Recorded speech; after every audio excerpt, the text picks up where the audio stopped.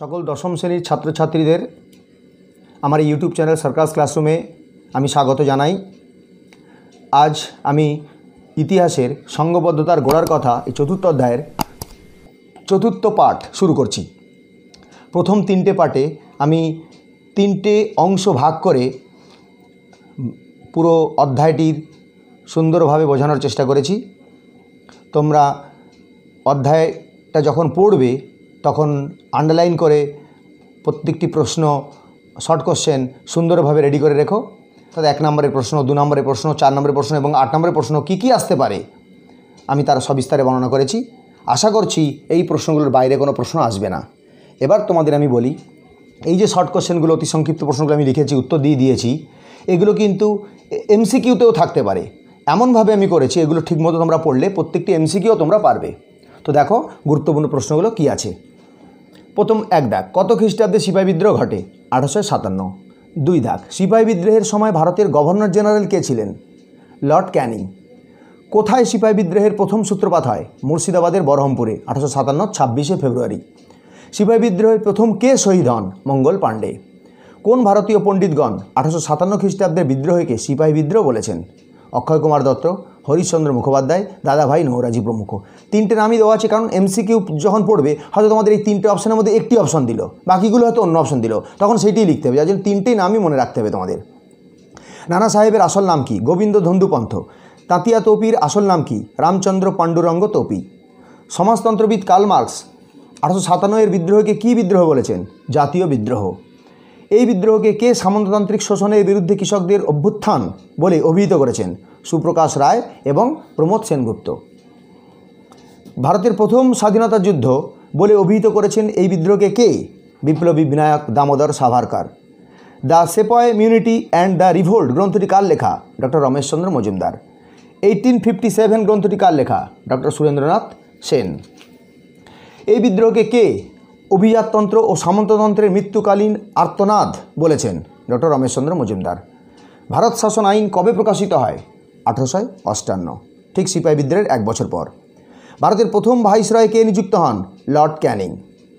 মহারানীর ঘোষণাপত্র কবে প্রকাশিত হয়? আঠেরোশো অষ্টান্ন খ্রিস্টাব্দে, পয়লা নভেম্বর। কে উনিশ শতককে ভারতের সভা সমিতির যুগ বলেছেন? ডক্টর অনিল সিল। ভারতের প্রথম রাজনৈতিক সংগঠন বঙ্গভাষা প্রকাশিকা সভা কবে প্রতিষ্ঠিত হয়? আঠারোশো ছত্রিশ খ্রিস্টাব্দে। বঙ্গভাষা প্রকাশিকা সভার প্রথম সভাপতি ও সম্পাদক কে ছিলেন? সভাপতি ছিলেন গৌরীশঙ্কর ভট্টাচার্য আর সম্পাদক ছিলেন পণ্ডিত দুর্গাপ্রসাদ তর্ক পঞ্চানন ভারতের প্রথম উল্লেখযোগ্য রাজনৈতিক সংগঠন, জমিদার সভা কবে প্রতিষ্ঠিত হয়? আঠারোশো আটত্রিশ। দেখো, প্রশ্নটা কীভাবে করা আছে? ভারতের প্রথম উল্লেখযোগ্য রাজনৈতিক সংগঠন, জমিদার সভা কবে প্রতিষ্ঠিত হয়? তোমাদের প্রশ্ন থাকতে পারে, জমিদার সভা প্রথম রাজনৈতিক সংগঠন কোনটি? যার জন্য প্রশ্নগুলো এমনভাবে করা হয়েছে তাতে সম্পূর্ণ উত্তরগুলো চলে আসবে। কে কবে হিন্দু মেলার প্রতিষ্ঠা করেন? নবগোপাল মিত্র আঠারোশো চল্লিশ খ্রিস্টাব্দে কলকাতায়। প্রশ্ন পড়তে হিন্দু মেলা কোথায় প্রতিষ্ঠিত হয়েছিল? ওই জন্য কলকাতাটা দেওয়া আছে। হিন্দু মেলার উপহার, কবিতাটি কে কবে কোথায় আবৃত্তি করেন? রবীন্দ্রনাথ ঠাকুর, চোদ্দ বছর বয়সে আটশো পঁচাত্তর খ্রিস্টাব্দে হিন্দু মেলার বার্ষিক সভাতে। কবে ভারত সভা বা ইন্ডিয়ান অ্যাসোসিয়েশন প্রতিষ্ঠা পায়? আঠেরোশো ছিয়াত্তর।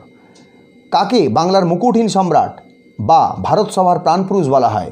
সুরেন্দ্রনাথ বন্দ্যোপাধ্যায়কে। পঁচিশ দাগে দেখো। এ নেশন ইন মেকিং গ্রন্থটি কার লেখা? সুরেন্দ্রনাথ বন্দ্যোপাধ্যায়ের। ভারত মাতার মুখপত্র ছিল কোন পত্রিকা? দি বেঙ্গলি। কবে ইলবার্ট বিল প্রকাশিত হয়? আঠারোশো তিরাশি খ্রিস্টাব্দে। দ্য অ্যাবে অব ব্লিস কোন উপন্যাসের ইংরেজি অনুবাদ? বঙ্কিমচন্দ্রের আনন্দমঠ। আনন্দমঠ উপন্যাসের প্রেক্ষাপট কী ছিল? ছিয়াত্তরের মন্বন্তর ও সন্ন্যাসী ফকির বিদ্রোহ। কে? কবে বন্দে মাতরম গানটি লেখেন? আঠারোশো পঁচাত্তর খ্রিস্টাব্দে বঙ্কিমচন্দ্র চট্টোপাধ্যায়। বঙ্কিমের লেখা বন্দে মাতরম সঙ্গীতটিকে সঙ্গীতটি কে? কবে ইংরেজি অনুবাদ করেন? আঠারো উনিশশো নয় খ্রিস্টাব্দে শ্রী অরবিন্দ।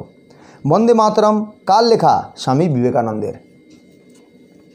কে কাকে ভারতীয় জাতীয়তাবাদের জনক বলে উল্লেখ করেছেন?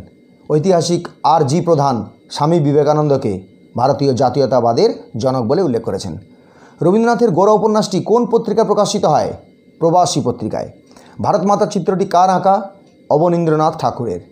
অদ্ভুত লোক বিরূপ বস্ত্র নয়া হুল্লোড় খল ব্রাহ্মণ প্রচণ্ড মমতা জাতাসুর প্রভৃতি ব্যঙ্গচিত্রগুলি কার লেখা?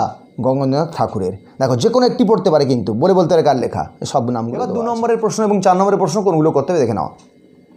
আঠারোশো সাতান্ন মহাবিদ্যের প্রত্যক্ষ কারণ দু নম্বরেও পড়তে পারে চার নম্বরে পড়তে পারে।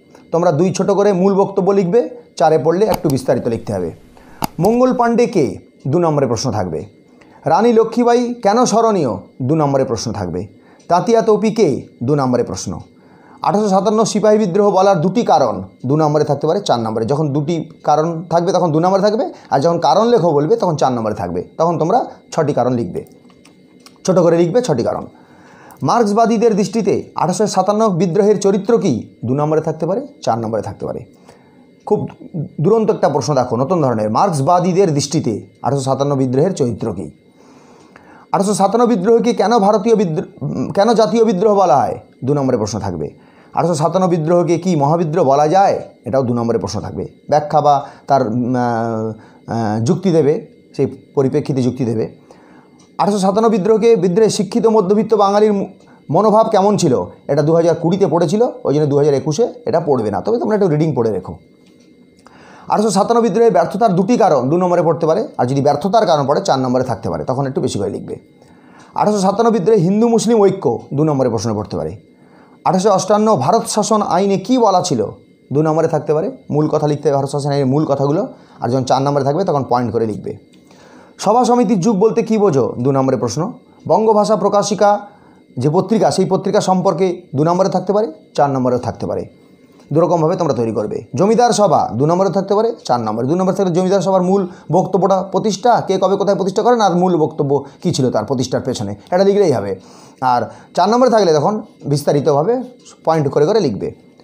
ভারত সভা এটাও টিকা আকারে মানে উদ্দেশ্য কার্যাবলী। দু নম্বরে পড়লে সংক্ষিপ্ত করে লিখে দিলে হবে, আর চার নম্বরে পড়লে উদ্দেশ্য গঠন, কোথায় প্রতিষ্ঠা করে কবে প্রতিষ্ঠা করেন, উদ্দেশ্য কী ছিল, কার্যাবলী কী ছিল, সংক্ষেপে লিখলে চার নম্বরে এসে যাবে। অস্ত্র আইন কি? এর বিরুদ্ধে ভারত সভার ভূমিকা কী ছিল? এটা দু নম্বরে থাকতে পারে, অস্ত্র আইন কী বললে দু নম্বরে থাকবে, আর যদি এর বিরুদ্ধে ভারত সভার ভূমিকা কী ছিল থাকে, তাহলে দুই যোগ দুই করে দেবে চার নম্বরে করবে। ইলবার্ট বিল কি? দু নম্বরে থাকতে পারে, চার নম্বরে। চার তখন ইলবার্ট বিলে কী বলা ছিল, সেগুলো পয়েন্ট করে লিখতে হবে। আর যদি ইলবার্ট বিল কী পড়ে, তাহলে মূল কথা লিখতে হবে, কী উদ্দেশ্যে লেখা হয়েছিল। নাট্যাভিনয় নিয়ন্ত্রণ আইন কী? দু নম্বরে থাকতে পারে, চার নম্বরে থাকতে পারে। হিন্দু মেলা, এটাও দু নম্বরে থাকতে পারে, চার নম্বরে থাকতে পারে। চার নম্বর হলে পয়েন্ট হবে। আনন্দমঠ উপন্যাসে কীভাবে জাতীয়তাবোধের জাগরণ ঘটিয়েছিলেন? চার নম্বর থাকবে।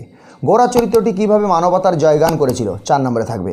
ভারত, বর্তমান ভারত গ্রন্থে কীভাবে স্বামীজি ভারতীয় জাতীয়তাবোধের প্রসার ঘটিয়েছিলেন? চার নম্বরে থাকবে। ভারত মাতার ভারত মাতার চিত্রের তাৎপর্য কী, এটা কিন্তু চার নম্বরে থাকবে।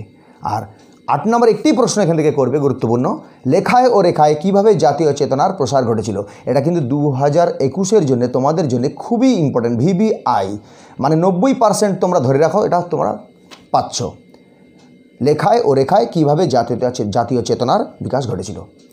এই টোটাল তোমাদের এই অধ্যায়ের সম্পূর্ণ প্রশ্নগুলো। এখানে যদি কোনো প্রশ্ন তোমাদের অসুবিধা হয় যদি করতে না পারো, তখন আমাকে কমেন্ট বক্সে জানিও।